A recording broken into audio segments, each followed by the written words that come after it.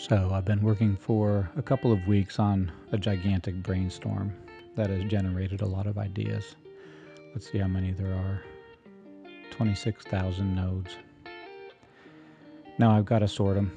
So, came up with this idea for how to sort large brainstorms for teaching or writing an essay or just creating a system, and that is to turn the brainstorm into a board, move everything into to process, and then decide what the board header should be in this case.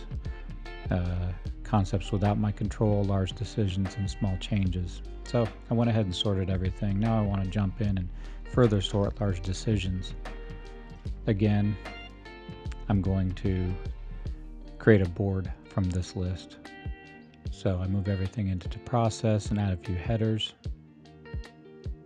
And now I start moving things around to suit me. This is a really easy way for me to sort things that can occupy a lot of space in my mind. This gigantic number is kind of daunting, but when I know I can zoom into a board and begin to move things, and then zoom in further and further and further to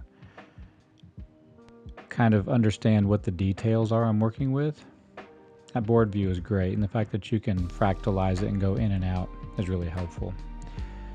Now all that's left to do is to grab a Kentucky Bourbon Barrel Ale and enjoy my success.